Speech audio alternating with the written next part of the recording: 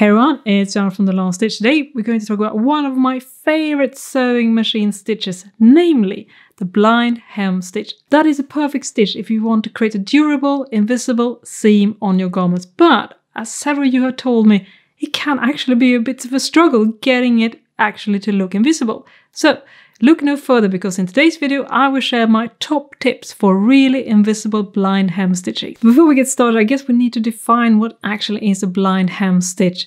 Well, what that is is a stitch that sews a couple of straight stitches, then it does a zigzag stitch, sew a few straight stitches, do a zigzag stitch, and every time it does a zigzag stitch, the tip catches a tiny, tiny piece of thread on your fabric, thus creating a seam that keeps the fabric in place, but on the outside you can't actually see because it just catches a tiny, tiny bit fraction of the fabric, which is why it's so great. But before you actually start sewing it, there's two things you need to do.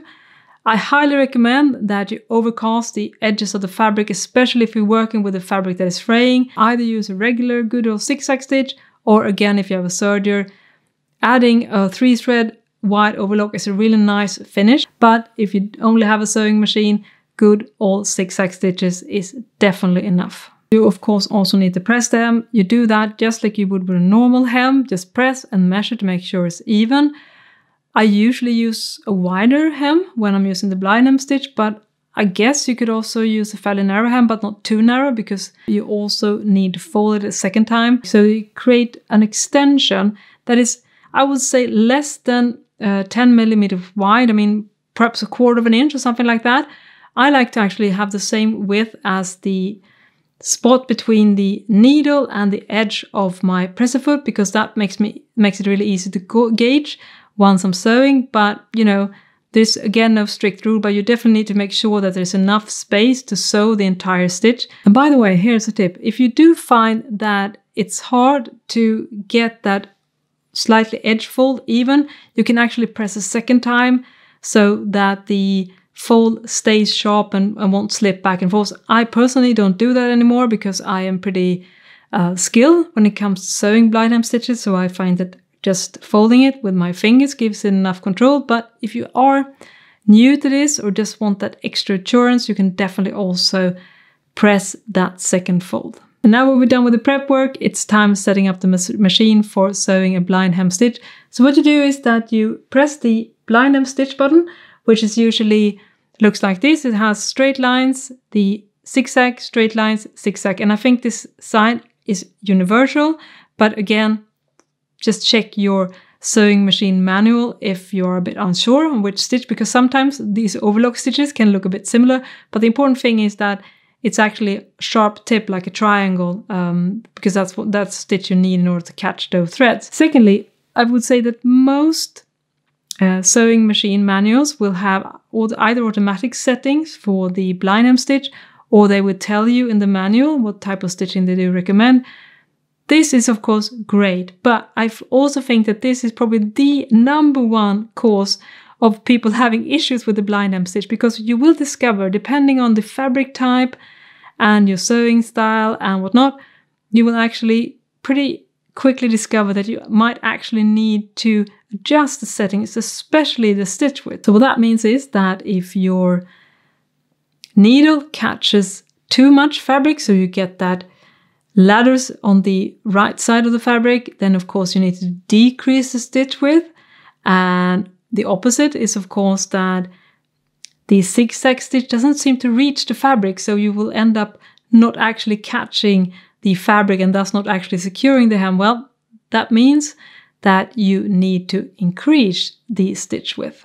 You can also experiment with stitch length because if you increase the stitch length, that means that the zigzags will be spread out further apart. Or, of course, if you decrease the stitch length, it will become more dense. This is my main take home with this is that the fact that different fabrics, depending on thickness and quality and all that stuff, will 100% require different settings. So use what they say in the manual as your guide, but definitely experiment and see what actually works for your chosen product. Now we're actually ready to start sewing the blind hem. So what you do is that you align the fold with the guide of the blind hem presser foot, um, make sure that it sits really snugly because that is basically the principle of this entire seam that you need to align it and you need to keep it aligned. So then you start sewing and again, another thing to keep in mind here is that you definitely need to control the fabric with both your hands. So I like to use my left hand to keep the fabric flat and just gently guide it, don't stretch it.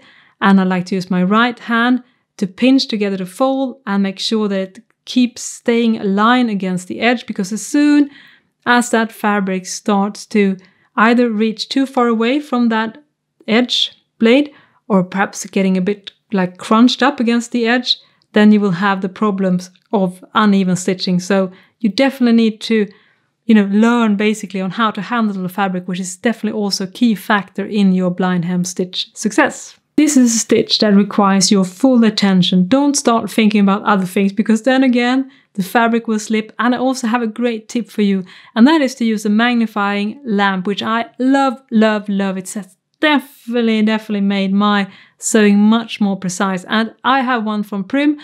I don't think it's sold anymore, but if you look in the description section below, you will see a link to another magnifying lamp that a lot of people rave about and looks really, really good and solid. So if you haven't already and you are struggling with blind hem stitching to make sure that you know the, the catch is the right spot, and of course also if you are doing top stitching and all that stuff, a magnifying lamp, well, that has basically changed my sewing life. So I highly recommend that you invest in one if this is one of your like struggle areas.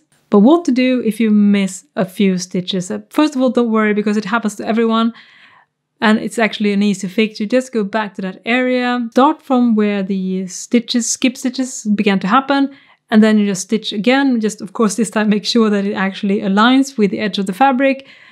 I do not remove the first stitch because I find that waste of time because obviously it doesn't interfere with the look of the. Of course, if you want to be very like specific, you can make sure that the um, second stitch aligns so that it does forms a zigzag stitch at the same spot as your first one. But again, I don't obsess about that because as I said, this is a pretty much invisible stitch. So whatever you do, it won't actually show on the outside, which is one of the benefits of using this blind hem stitch. Let's take a look at the finished result. As you can see, I, when I pull the fabric apart, you can see how durable it is, and you can also see how it just catches the smidgen of a thread, right? And if we look on the other side, Despite the fact I use purple thread, I challenge you to see any distinct thread markings on the outside. Now, if you would take a magnifying glass and look really close, you would definitely see some purple spots, but I assume that normally you would have used navy thread, so again, it's not even an issue. Uh, if you want to be super, super mindful, you can actually, on most fabric, be able to create 100% invisible thread on the outside. But remember, that there is a trade off when it comes to that, and that is unless you're very skilled, when you are sewing such precision, you risk actually missing quite a few stitches as well. So this is not something I would aim for if you're just starting out with a blind hem stitch. I'd rather have you apply a good technique and just have a tiny, tiny smidgen of the thread shown on the outside than being obsessed about having zero thread shown on the outside because as I said you use matching threads so no one will tell. These were my top tips for sewing a blind hem stitch. Now I'm really curious what are your experience and tips when it comes to this stitch. Do you have any more things you want to add? Please add in the comment section. I'd love to know. Thank you so much for watching. Stitch safe and I'll see you next time. Bye bye!